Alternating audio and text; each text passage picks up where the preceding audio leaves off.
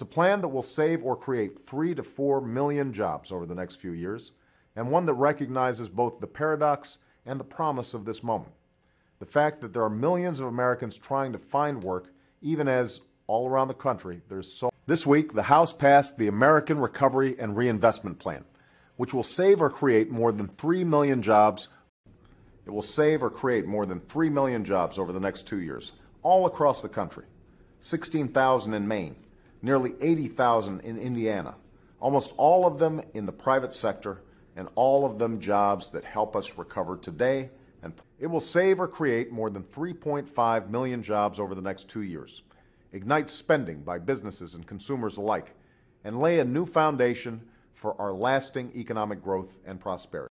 I promised an economy run on clean, renewable energy that will create new American jobs, new American industries, and free us from the dangerous grip of foreign oil.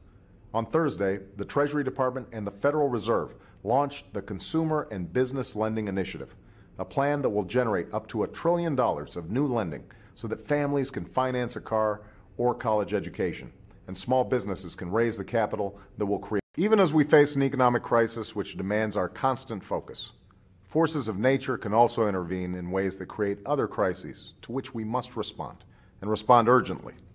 For the all of us are working to spur growth and create jobs. Secretary Napolitano, for example, is ending consulting contracts to create new seals and logos that have cost the Department of Homeland Security $3 million since 2003. As we do everything that we can to create jobs and get our economy moving, we're also building a new foundation for lasting prosperity. A foundation that invests in quality education, lowers healthcare costs, and develops new sources of energy powered by new jobs and industries. For the first time, utility companies and corporate leaders are joining, rather than opposing, environmental advocates and labor leaders to create a new system of clean energy initiatives that will help unleash a new era of growth and prosperity. The energy bill that passed the House will finally create a set of incentives that will spark a clean energy transformation in our economy.